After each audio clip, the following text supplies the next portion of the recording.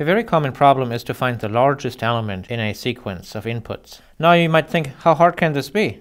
In this sequence, clearly this one is the largest, but a computer program can't scan all of the inputs at once, like we can.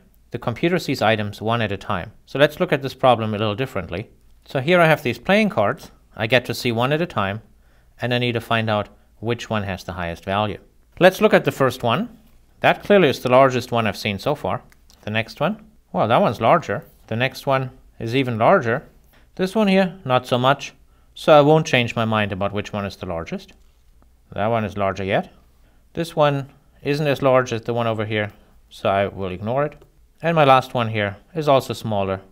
So my answer is that the 8 was the largest input. In pseudocode, the algorithm would look like this. I start out letting largest be the first value. While there are more values, I read the next value. And if that value is larger than what I thought the largest was, I change my mind. When I'm done with this loop, largest will have been set to the very largest of all of the inputs. Now you get to try this out with Java code. Go ahead and complete the next project.